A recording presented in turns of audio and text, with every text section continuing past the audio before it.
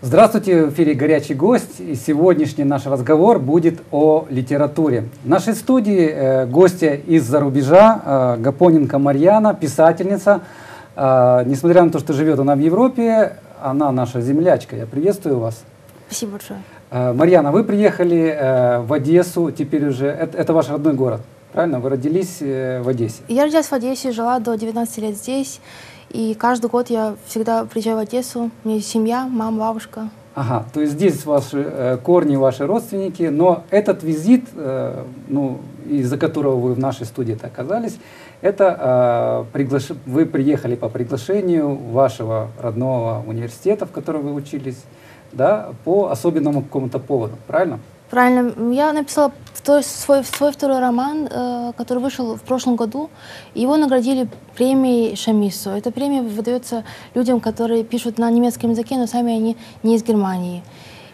Э, и поэтому меня, я думаю, пригласили. Если бы я не, не получила То есть, мало премию... того, что вы писатель, э, писательница, вот, и вы еще пишете на немецком. Я начала писать в 14 лет. Я учила таким образом язык.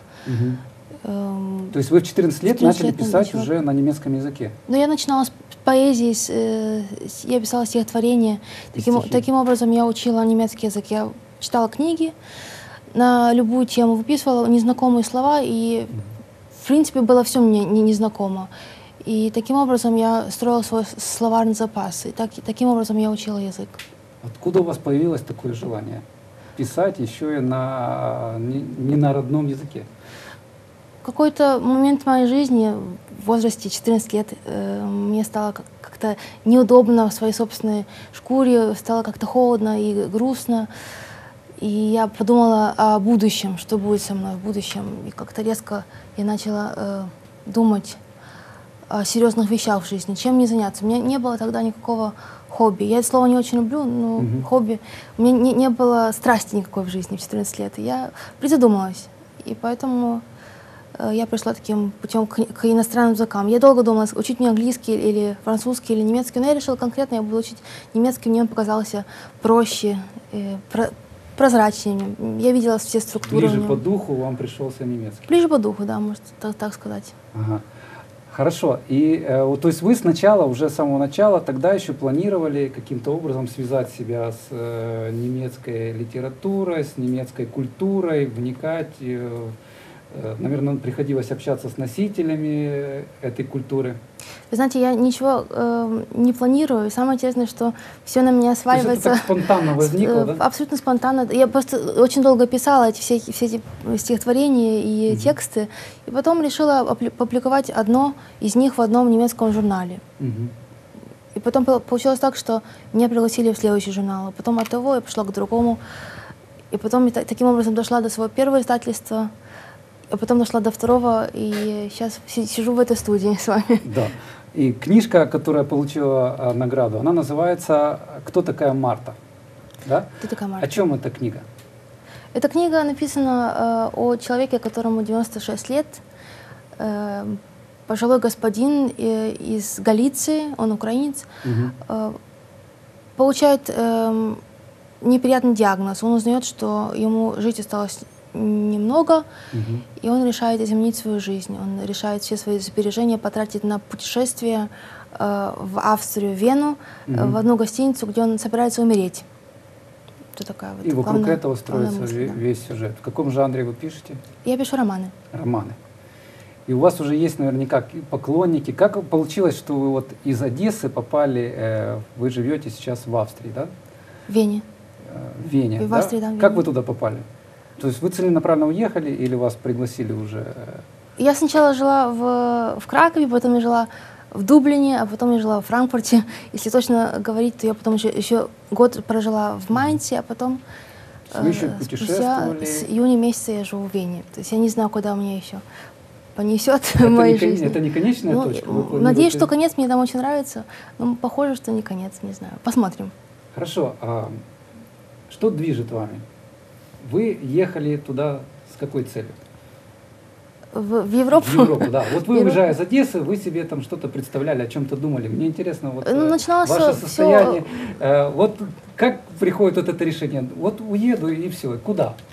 Я, Зачем? я уезжала не, не по собственному желанию, меня, меня туда пригласили Так. э, как стипендиатку одной литературной такой стипендии. Я там прожила полгода на севере Германии, и мне тогда было 19 лет. После этого у меня потом была другая стипендия, и таким образом я там зацепилась и осталась. То есть это то, что у нас называют утечка умов, да? Вас как хорошего Утекла. писателя туда а, пригласили, и вы теперь... Пригласили. А, скажите, а, не появлялось ли у вас э, мысли, желание написать э, что-то на украинском языке или на русском? Русский у вас же родной язык, да? Русский мой родной язык, немецкий мой рабочий язык. Я э, с 14 лет на, на нем пишу. Я, никогда не писала по- по-русски. То есть и не было таких? Я не, даже об этом не думала. И я думаю, что я бы сейчас не смогла, то что я, я считаю, что языки нужно э, лелеять. Мгм. И, и к ним нужно очень серьезно подходить. Ну- Нужно много читать на родном языке, чтобы быть в состоянии написать что-то. Вы больше читаете солидное. сейчас э, На немецком, к сожалению, книги, да. немецких авторов? Мне не хватает часто русского. Русской речи у меня нет э, в Австрии, не было в Германии или в Кра- в Кракове, где я жила, русских друзей или русскоговорящих Кто, друзей. э, кто являлся, кто из авторов да, немецких являлся для вас вдохновением? Кто производил на вас впечатление? в, в каждом, на- каждой, в каждой фазе жизни, на каждом этапе жизненном, на мой взгляд, есть э, специальные авторы, которые влияют очень сильно. Мгм. Помню, в 14 лет я читала, очень любила, ну, сейчас стыдно признаться, любила читать сказки. Почему? Стыдно сказки. Я, их, я только их и, и читала, в принципе, сказки эм, разных народов. Мгм. причем на немецком языке их начинала, начинала читать. Какие вам больше нравятся? Мне нравились как кавказские сказки, э, армянские сказки. Хорошо, а дальше вот как это эволюция? Это было в происходит? 14 лет. После Потом- сказок вы перешли Потом мне на... понесло на кавку. То есть не на кофе, а на, Ну, на кавку. Я его очень любила и ценила. А потом, э, спустя пару лет, я удивлялась, почему его любила и ценила. Мне он показался в возрасте 18 лет уже очень таким темным. эм, меланхо- меланхо- Меланхолия была такая страшная, неприятная, что я от него отвернулась. На пару лет, а сейчас вот э, я его перечитываю и опять м, Есть сейчас у вас кто-то, кем вы вдохновлены или чем вдохновлены? Я люблю эм, книги, которые не связаны с, с, с моим жанром. Я, Мгм. я лю- очень люблю читать технические книги. А Читаете ли вы детективы, скажем? Нет, я э, там много крови. Я думаю, кроме, эм, э, кроме Агаты Кристи, я в детстве один раз прочитала в детстве и, Мгм. не, э, и больше не, не бралась за это дело. Там слишком э, не, не мой жанр. Я, я читаю то, что связано или с, мо- с моими текстами, когда я не пишу свою книгу. То есть, когда я пишу книгу, я ничего такого не читаю, читаю просто технические вещи или ищу э, источники, ну, Мгм. так, так для души. Боже упаси. Как пишется книга? Это какой-то э, долгий мучительный процесс, э, как лично для меня, когда нужно что-то написать, это связано, нужно собраться, нужно... с- и- или оно просто вот приходит, некоторые писатели говорят, оно просто пишется само. Я сажусь и, э, и пишу. Такого, такого в это я не верю. Это, это кокетство. На мой взгляд, э, писательская работа не, не- отличается от любой другой работы. Нужно То иметь это труд? конкретный план в голове, э, костяк и э, эскиз лучше всего. Я сейчас, я сейчас работаю в последнее время с, с такими эскизами, которые Мгм. себе, я сама себе создаю, и по ним я ори- ориентируюсь на них. Э, И То есть изначально есть план, и есть план. сюжет какой-то вами уже задуманный, а вы потом облекаете его уже в как- как- какую-то форму, в какие-то события, да? облекаю и потом удивляюсь, что форма сама э, берет э, руль на себя, Мгм. и мной похоже, что овладевает. То есть я себе что-то придумываю, а на самом деле спустя пару месяцев работы я смотрю, что я совсем другое придумала. Сейчас получилось абсолютно другое. Это, это, на мой взгляд, это подарок для, для писателей. М, Несподиванка такая. Можно устать от этой работы? Физически можно устать, но, но- но не, не ментально. То есть Физически. нужно отдыхать. Вот после того, как вы заканчиваете писать книгу, она закончена, вы сказать, все, вот теперь не пишу полгода или год.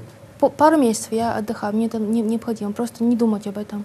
Попрощаться с героями своими, сказать, спасибо, ребята, за, за поддержку, Мгм. уходите. Но они часто, все эти характеры, они э, любят э, вок- вокруг меня группироваться и влияют на дальнейшие книги, что мне это не подходит, потому что каждая книга, она э, имеют других персонажей, другие, другие души имеют. Мгм. Поэтому нужно пару месяцев подождать, даже о них не думать.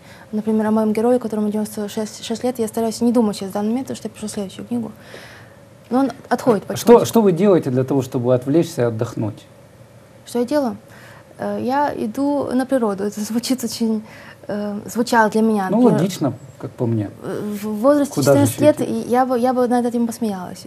Люди, которые восхищались природой, мне были э, слегка смешны. А сейчас я большой поклонник природы, я интересуюсь ею, деревьями, э, травами. То есть вы занимаетесь созерцанием или вы изучаете там м, строение листьев э, и какие-то процессы следующей- биологические? Для, для моего романа я это действительно и делаю, потому что в, моем следующем, в моей сле- следующей книге речь идет о деревьях, о породах деревьев, о, ме- о мебели. То есть вы тоже погружаетесь в тему и Я, я примерно больше... год работаю так, таким образом. Я год ищу материал, практически или теоретически. Сейчас вы работаете над новой книгой, я правильно понял? Она у меня, в принципе, уже закончилась. Я ее закончила три дня назад. Ага. Поэтому я сейчас так счастливо сижу перед вами. Я просто счастливый человек, я сейчас свободна, мне па- пару месяцев ничего не будет в голове. Хорошо, о чем будет это творение? О деревьях. О деревьях. Главным героем будет кто?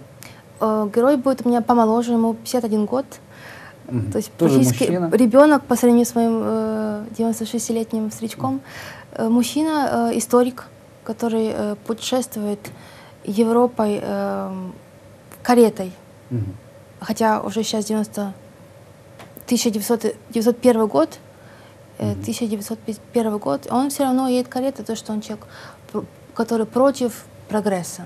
Он просто назло всем, и всем поездам, и всем автомобилям, он едет своей старой каретой.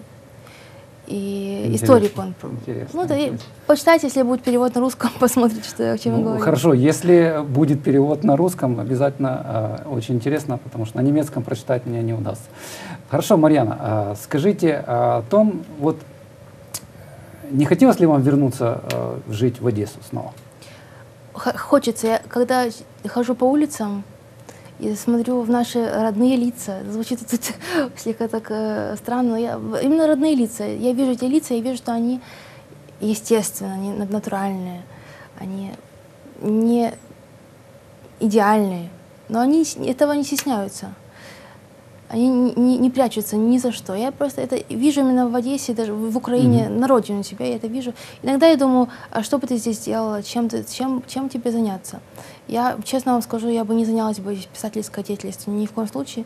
Я бы, я бы прошла бы просто на, на такую вот эм, работу, которая связана с, э, э, с руками, то есть что-то сделать, сделать руками, не знаю, как это перевести на русский. э, т- э, Handmade. ну, handmade. Да, Э, это, это все столяр, понимают например, столяр. Я бы ст- стулья с удовольствием мастер- мастерила бы. Ну, Такие все, вещи. э, все те, кто занимаются творческой работой, их время от времени тянет, наверное, к физическому Тянет, тянет. труду. Но я не умею. Я, думаю, как, как бы мне смастерить стул, я этому не, не научилась в своей жизни.